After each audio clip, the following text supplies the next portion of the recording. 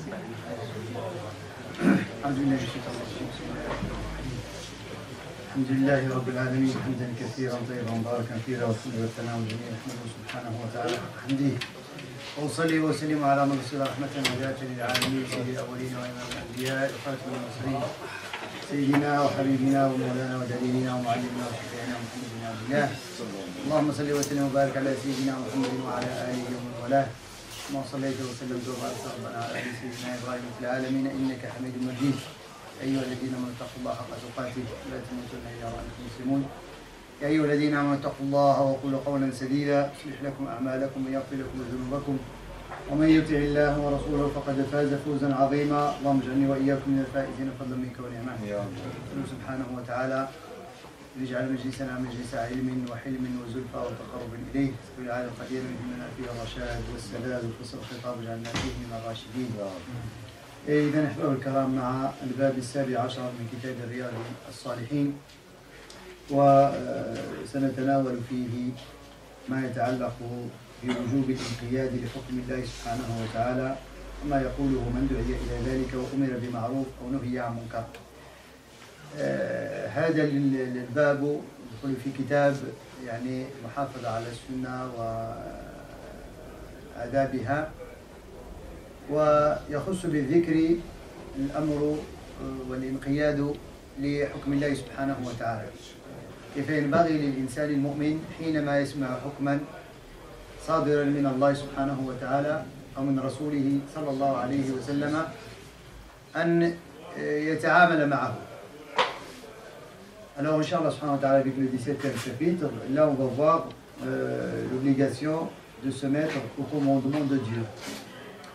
Ce euh, chapitre, c'est en dessus du livre dont on avait parlé, le troisième, c'est euh, suivre les commandements de la Sunna et, et tout ce qui vient après. Avec ce chapitre, Inch'Allah, on va voir la soumission d'un croyant devant les, les commandements de Dieu subhanahu wa ta'ala. إذا هذا الكتاب أحباب الكرام أو هذا الباب يضعنا أمام منهج في الحياة فالإنسان المؤمن هو مقيد بأوامر الله سبحانه وتعالى فلا يتصرف تلقاء من أهوائه ولا يتصرف انتلقاء مما يراه هو فيه المصلحة ولكن يتصرف اتباعا لما جاء في أمر الله سبحانه وتعالى واتباعا لما جاءت به الشريعة الإسلامية وأكدت على المصلحة فيه. وقد يتناقض في بعض الأحيان ما يريده الإنسان ومصلحته وما يأمر به الشرع ومقاصده.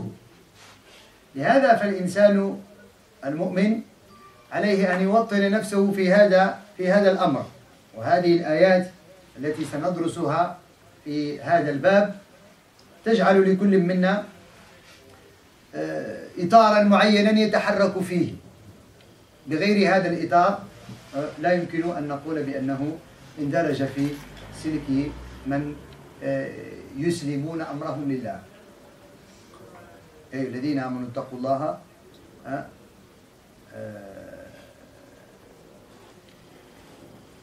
ولا تموتن إلا وأنتم مسلمون. ولا تموتن إلا وأنتم مسلمون. المقصود هنا بهذه الكلمة مسلمون إلا وأنتم في هيئة أسلمتم فيها أمركم لله سبحانه وتعالى. لذلك جاء le terme en français c'est euh, la soumission c'est l'obligation de se mettre au commandement de Dieu. Comme vous le savez, euh, le croyant, il est automatiquement, euh, sous cette croyance, géré par les commandements de Dieu subhanahu Il ne réagit pas selon ses envies, ni selon euh, ses intérêts. Il réagit dans toute sa vie selon les commandements de Dieu subhanahu Parfois, on peut trouver nos envies et nos intérêts opposés à les commandements de Dieu subhanahu wa ta'ala et en général les commandements de, la charia.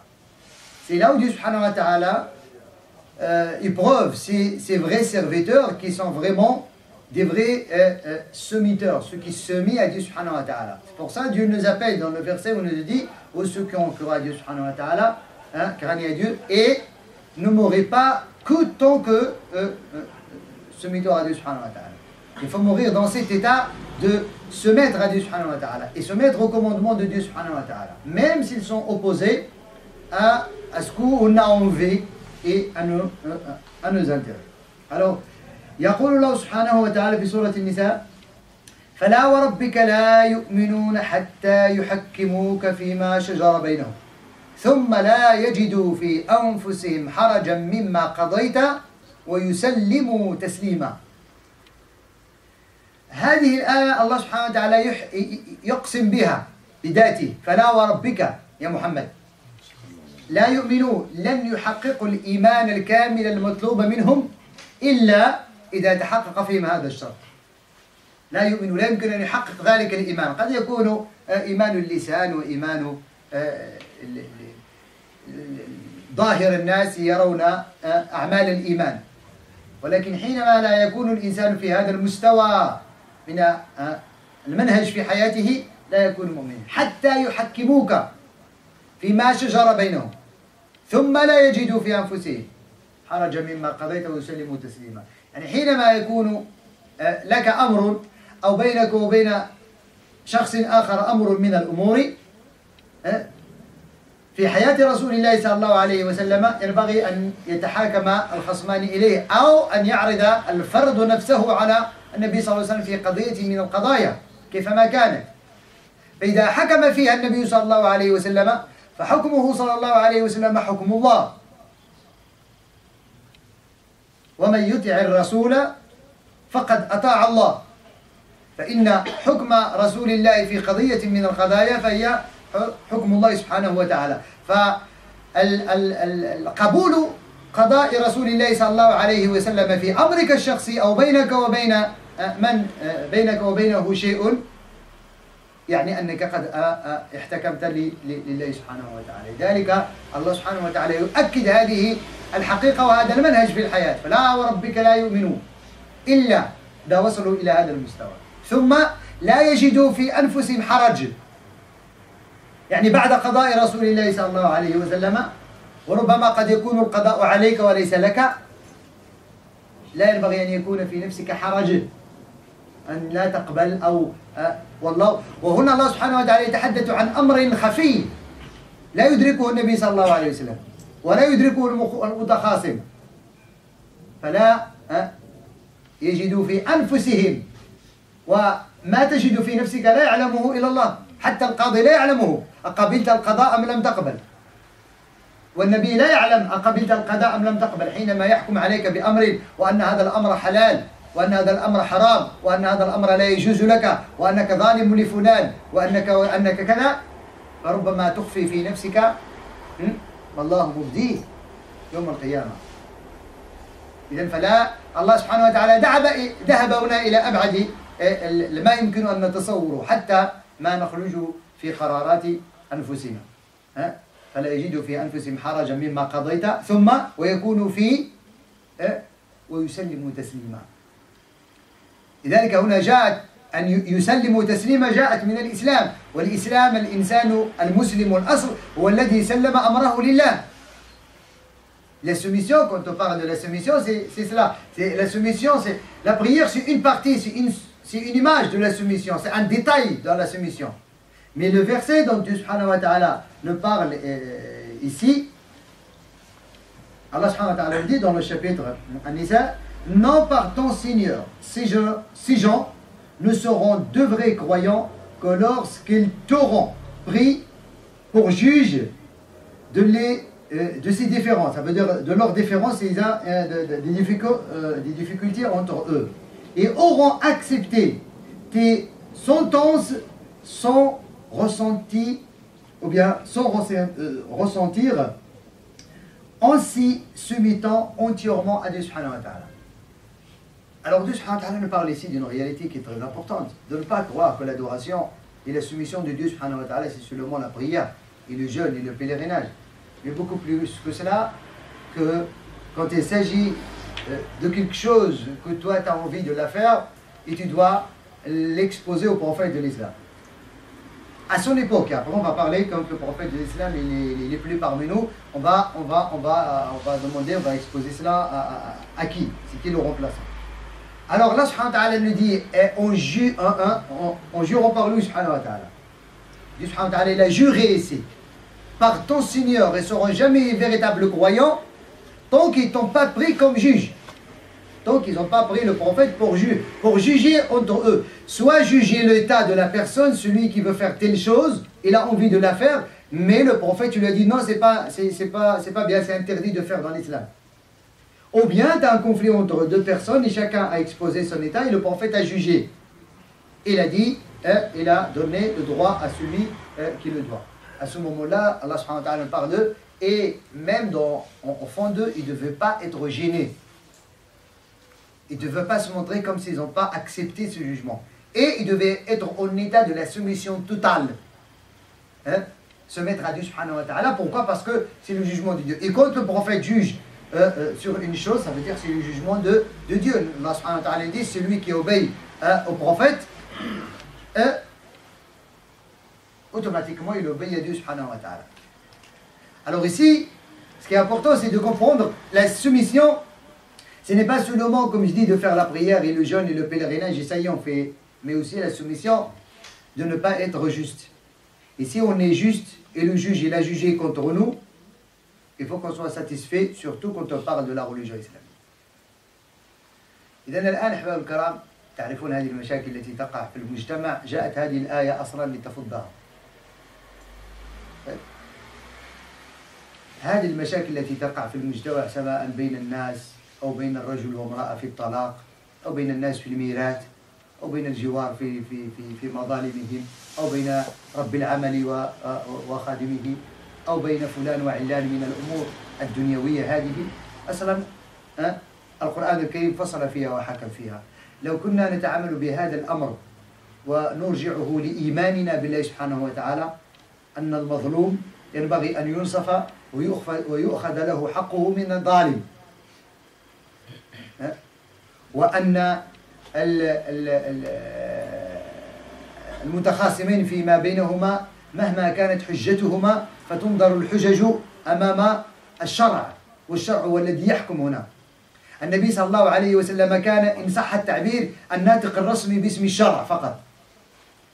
إنما هو يحكم بما أنزل الله سبحانه وتعالى ولم يأتي بشيء من عنده. ولكن يحكم وفق هذه المقاصد. مقاصد إيش؟ أن هناك ظلم ينبغي أن يرفع والحرج ينبغي أن يزال والضرر ينبغي أن يزال. والمصلحة ينبغي أن تتحقق. هذه الآليات آليات المحكمة الإسلامية. لو كان الواحد منا يعي هذه الأمور قبل أن يصل إلى المحكمة فهو يعلم حكم الله سبحانه وتعالى. ألا ترون معي أن الإنسان الظالم هو يعلم أنه ظالم قبل أن ينصر أمام القاضي؟ يعلم ولا ما يعلم؟ يعلم. الإنسان حينما يكون ظالم هو يعلم أنه ظالم قبل أن يصل إلى القاضي. لو عرض نفسه على هذه الآية لما وصل إلى القاضي. إن هذه الآية هي القاضي. طيب. مشاكل الميراث الآن خاصة في دولنا العربية الإسلامية بدون استثناء. حينما يدعي البعض أن البنات ليس لهم الحق في الميراث ويظلمون. أو بعض الإخوة يريدوا أن يستولي على حق إخوته في الميراث. وتصل المسائل إلى المحاكم. ألا يعرف هذا الظالم بأنه ظالم قبل أن أن يذهب إلى المحاكم؟ إذا لو عرض نفسه على القضاء القضاء هنا الله حكم. فلا وربك لا يؤمنوا حتى يحكموك فيما شجر بينهم. وفي هذا القضية وفي هذا الأمر الميراث مثلا الإسلام وضع الحكومة حكمت. يوصيكم الله في أولادكم للذكر مثل حد الأنثيين فإن كنا وهكذا. والله فصل في الآية 2 12 من سورة النساء. فصل. لا تحتاج إلى قاضي. كل واحد أعطاه الله حقه. ولكن حينما تظلم أنت تعرف أنك تظلم. هذا يدل على أنك ورب الكعبة لم تؤمن. الله يقسم هنا. فلا وربك لا يؤمنون إذا حينما أنت ظالم وتذهب إلى المحكمة لتأخذ بحكم القاضي ما ليس لك الله يقول لك فوربي محمد لست مؤمنا. هكذا ينبغي أن نفهم هذه الآية. الرجل وزوجه في الطلاق. ألا تعرف الزوجة أو لا يعرف الزوج أنه ظالم قبل أن يذهب إلى المحكمة؟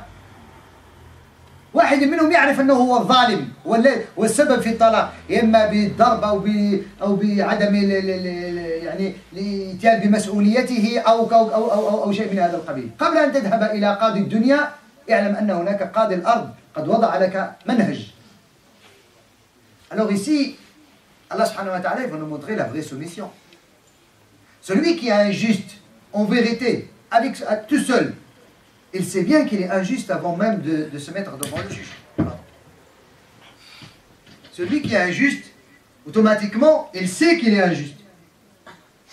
Avant même de, se mettre devant le juge contre son adversaire, normalement, s'il prend son, ce verset en pratique, où Dieu nous dit par ton Seigneur, il ne sera jamais un véritable croyant, celui qui n'a pas, qui t'a pas pris pour juge et il n'a pas accepté, automatiquement tu vas savoir. On n'a même pas besoin d'un juge. Hein? Mais le problème, c'est comme je dis, c'est quoi? C'est le manque de la foi. J'ai donné des exemples comme ce qui s'est passé, ce qui se passe d'ailleurs dans tous nos pays arabo-musulmans, euh, dans le, côté de l'héritage. Il y a des gens qui croient que les filles n'ont pas le droit d'avoir leur part de l'héritage. Et c'est la honte que la fille demande son part de l'héritage. C'est qui qui a dit ça? Le Coran, n'a pas dit ça. Le Coran, a donné à chacun sa part après le décès euh, d'un père ou d'une maman. Il est clair là-dessus. On n'avait pas besoin du juge parce que si tu partais chez le juge et le juge est assorti à notre jugement à part le deuxième verset du chapitre Les femmes, alors même le juge, il est injuste. Parce que, et c'est la chose, est Mais quand un frère qui veut prendre plus que sa part, il sait bien qu'il est injuste. Tu sais, toi, de toi-même, tu sais que tu es injuste. Alors expose ton état devant ce verset-là, tu vas trouver que c'est ton manquement de la foi, ta foi qui est euh, dégradée, qui est, qui est faible, qui te pousse à chercher à prendre ce qui ne t'appartient pas. C'est ce que le Dieu. Et Dieu nous montre que il faut faire attention, c'est pas parce que vous faites la prière à la mosquée ou vous jeûnez ou quoi c'est ça la soumission. Non, pas du tout. Ça, c'est une partie de la soumission. La grande partie de la soumission aussi, c'est quand tu es injuste, toi-même juge ton état devant Dieu. Donne à celui qui a le droit son droit, sans même y aller chez le juge. C'est ce, ce que Dieu subhanahu wa ta'ala nous donne. C'est cela. لذلك كان في عهد الصحابة ما كان هذه المشكلة. وقد جاءت في بعض الروايات أن سيدنا عمر بن الخطاب رضي الله عنه كان نصبه آه، سيدنا أبو بكر قاضي آه، قاضي الأمة. وجلس في يعني في في منصب القاضي الأمة ما يزيد عن سنة أو أقل أو كثير وبعدين استقدم استقالته. قال يعني آه، أنا الناس عرفوا حقوقهم وواجباتهم. ف فعلوا واجباتهم وأدوا حقوقهم إيش أنا أبغى نكون يعني ديكور تاع أنا جاتني واحد النكتة وهي حقيقية. يقول لك واحد البلاد هو ما فيش ما عندهم الحكومة بدون ذكر البلاد. سئل رئيس الحكومة في هذه البلاد. قال له لماذا ما عندكمش وزير النفط؟ قالوا نحن ما عندناش النفط قالوا ولماذا عينتم وزير العدل؟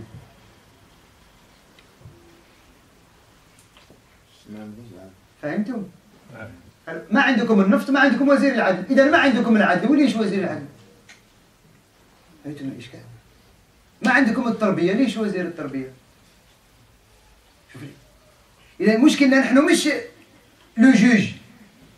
C'est déjà ceux qui partent devant le juge Parce que le juge, si, on ne vient pas devant lui, pour qu'il soit lui aussi injuste, parfois c'est notre injustice qui pousse le juge à être injuste.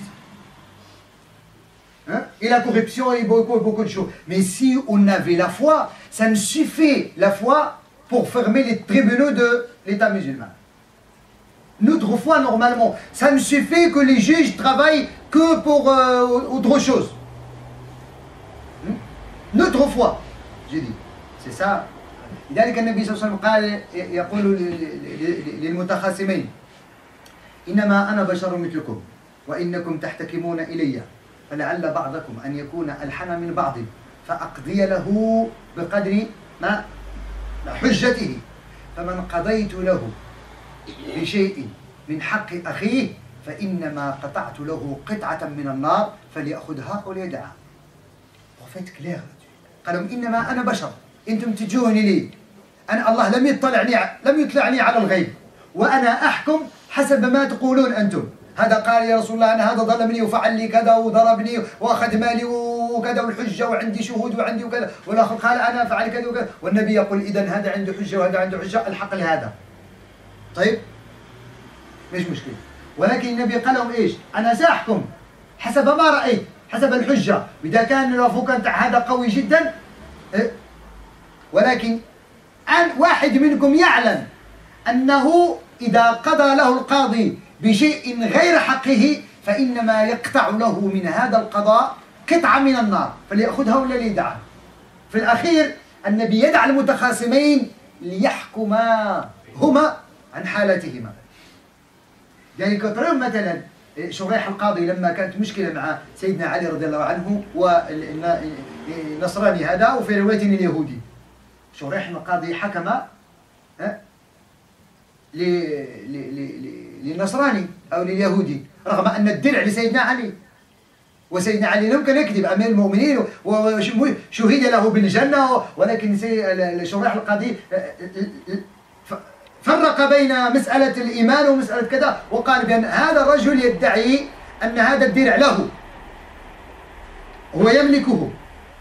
أنت قل لي هذا الدرع أعطيني حجة بأنه لك. أعطيني هل اشتريته كذا هل لك شهود هل هل هل كذا. وما عندوش قال إذا حكم القاضي بأنه البينة على المدعي واليمين على من أنكر. أنت ما عندك بينة بأن هذا الدرع لك. هذا مستعد يحلف. مش مشكلة فحلف. ولما رأى النصراني حكم العدل دخل في الإسلام وسلم الدرع ولما رأى سيدنا علي هذا الحكم وهذا العمل الذي فيه صورة الإسلام العادلة أهدى الدرع للنصراني لما دخل إلى الإسلام واليهودي إذا هذا الذي ينقصنا نحن أحباب كان في مجتمعنا Ce que nous manque aujourd'hui, ce n'est pas, les, pas les, les, les juges justes. Ce qui nous manque, c'est les adversaires justes. Parce que le juge, il juge quand on vient devant lui. Et à ce moment-là, moment-là, lui, il va intervenir pour machin, il y a la corruption, il y a ce copain, il y a le coup de fil, il y a beaucoup de choses. Mais si nous, les adversaires, entre nous, on arrive à régler notre conflit, euh, tous les juges seront au chômage. On n'aura pas de... Peut-être on aura un seul tribunal dans des cas exceptionnels dans, euh, dans tout le pays.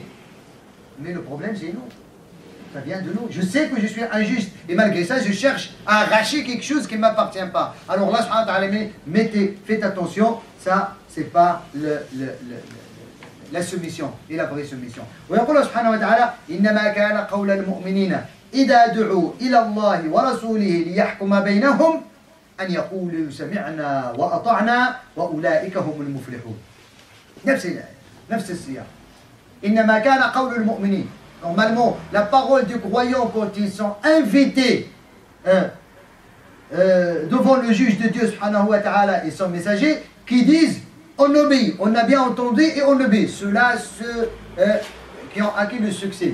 هنا الفلاح ربط النبي صلى الله ربط القرآن الكريم الفلاح بأن تخضع لحكم الله ورسوله الواحد الآن تقول له تعالى نحكم بما حكم به الشرع. في هذا والله أحباب الكرام سمعنا في بعض الأحيان هذه الأمور كثيرة قاسة في الميلاد ونحن في البلاد نحاول أن نصلح تقول يا أخي تعالى نحكم بكتاب الله في الميلاد. يقول لك يا أخي أنت مسألة كتاب الله ولا القرآن وكذا. هذا عرف عندنا إحنا سنوات. Ça fait des années, on fait comme ça, on partage les familles, les filles, ils n'ont pas leur droit. C'est pas maintenant que vous venez nous dire le, le Coran et les religions. Le Coran, c'est à la mosquée. Ça, c'est une parole. Euh, grave. Hein. C'est une parole grave. Quand aujourd'hui il y a un conflit entre deux personnes, tu leur dis Alors, mon frère, regarde qu'est-ce qu'il a dit le, prophète là-dessus. C'est clair. La parole du prophète, elle est claire. Tu dis Oh non, c'est. T'as mal compris, t'essayes de, de, de, de tourner le texte selon ce que, ce que tu envie toi. Non, c'est pas ça la soumission. La soumission de dire, j'ai bien entendu le messager, qu'est-ce qu'il a dit, et le Coran, qu'est-ce qu'il a dit, alors j'obéis. Même si c'est c'est contre moi. j'obéis. Ça, c'est le succès.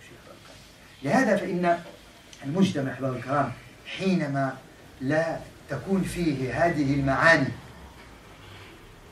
وهذا هو التنزيل الصحيح للقرآن الكريم التنزيل الصحيح للقرآن الكريم حتى حينما يختلف الناس الآن لأن هذه شوف هناك مسألتين المسألة تتعلق بأمور لا خلاف فيها.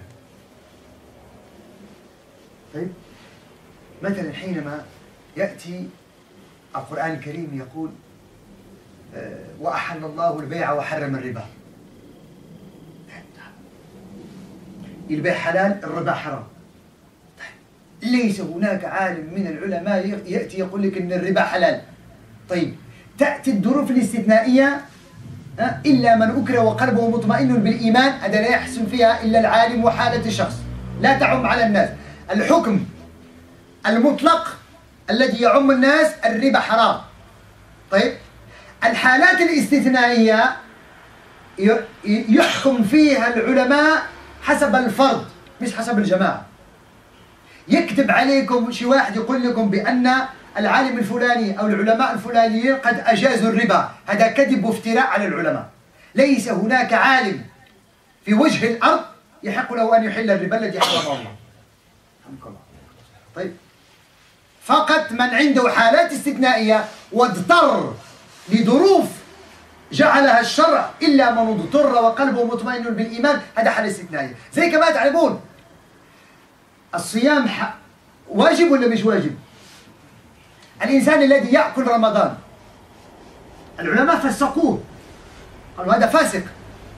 إذا أكل رمضان بدون عذر هذا فاسق.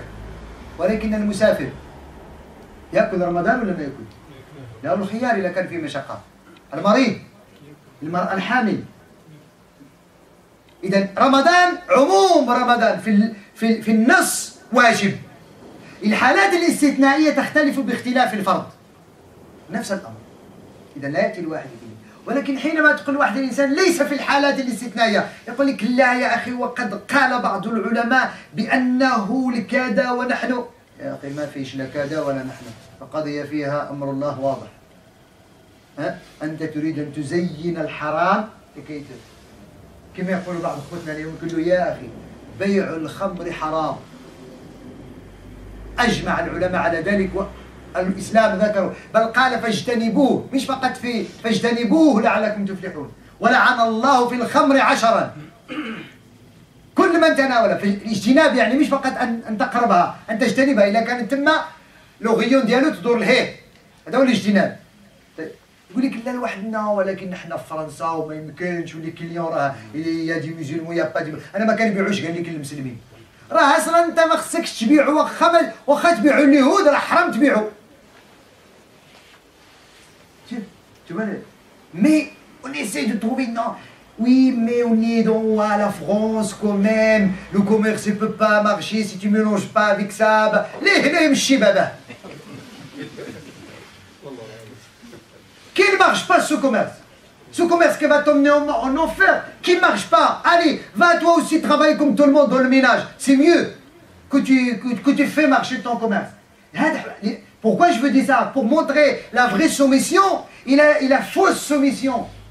Il va aller à la, faire la prière, il fait le jeûne, et quand il y a l'Eid, il va acheter un sacré mouton avec l'argent de, de. Mais Allah, il n'a pas besoin de ce mouton-là que tu as acheté avec le, le haram. C'est pas une soumission ça. La soumission, il est clair là-dessus. Quand Dieu il a dit c'est haram, c'est haram. Les cas exceptionnels, alors ici, il faut les théologiens. Il faut des gens compétents pour te dire, oui, toi tu es classé, toi tu es ce là. Il y a des gens aujourd'hui, c'est interdit pour eux qu'ils jeûnent. S'ils jeûnent, et s'il lui arrive quelque chose, il, a fait. Euh, euh, c'est un péché. C'est un péché. Interdit. Si le médecin te dit que toi, si tu jeûnes, tu vas tomber malade, tu vas dégrader ta santé et tu vas tomber dans les conflits. Et tu jeûnes pour la soumission, Toi, tu n'as pas fait la soumission. Tu as fait contre la soumission parce que la soumission, c'est de prendre ton cas exceptionnel que la soumission ici, tu donnes la compensation, tu ne jeûnes pas. Parce que tu, quand tu jeûnes, tu fais, tu, tu, tu fais mal à, à toi-même. Et le fait de faire mal à toi-même, c'est interdit aussi dans l'islam. C'est clair là? احباب الكرام ينبغي ان نفهم شرعنا حينما نفهم كذا والله الذي لا اله غيره on n'aura pas besoin ni de juges ni de personne on aura besoin des théologiens des vrais théologiens des vrais savants qui vont nous montrer le vrai chemin à suivre avec les, les arguments c'est tout et tous ceux qui parlent autour s'ils n'ont pas la, ils n'ont pas la discipline ils n'ont pas la, la, la science ils n'ont pas la bagage pour nous répondre c'est même pas la peine de les écouter parce que là, c'est la responsabilité. Quand le prophète est absent, c'est l'héritier du prophète qui parle à son nom. C'est pas n'importe qui. C'est pas le président de l'association qui va parler au nom. C'est, il n'est pas un savant. Oui C'est pas euh, quelqu'un de, de, de, je sais pas, dans un, une association quelque part qui parle au nom de musulmans et il n'est pas théologien, il n'a pas le bagage qui va dire aux gens jeûner ou pas jeûner, ou riba haram ou riba halal. Non, non, non. Là, tu rentres dans un domaine qui n'est pas le tien. Fais attention, tu parles au nom du prophète, tu parles au nom de l'islam, tu parles l'héritier. Les héritiers du prophète, ils sont clairs. Al-ulama, anbiya. Les éléments, les savants, c'est eux qui ont l'héritage, c'est eux où le relais, il était passé après le décès du prophète. Allah, Allah, لعشنا سالمين غانمين متحابين متآخين ما نحتاج لا لفلان ولا لعلان ولكن مع كامل الأسف أبتلينا بمن له مآرب و, و ويعني مقاصد أخرى غير مقاصد الدين ومقاصد الشرع وما والاستسلام لله سبحانه وتعالى. فنسأله سبحانه وتعالى اللطف والعفو. والحمد لله رب العالمين. نسأله سبحانه وتعالى أن يوفقنا الخير. ويلهمنا رشاد السلام ونجعلنا من الذين يسلمون تسليما. اللهم اكتبنا من الذين يسلمون تسليما. اللهم يا رب إنا نسألك ألا نموت إلا ونحن مسلمين. على الإسلام مؤمنين بكتابك منزلينه في حياتنا. اللهم وفقنا لما تحب وترضى وجنبنا ما تكره وتأبى وأتي نفوسنا تقواها وزكاة أنت خير من زكاة أنت وليها ومولاها. وصلى اللهم وسلم وبارك على سيدنا محمد والحمد لله رب العالمين.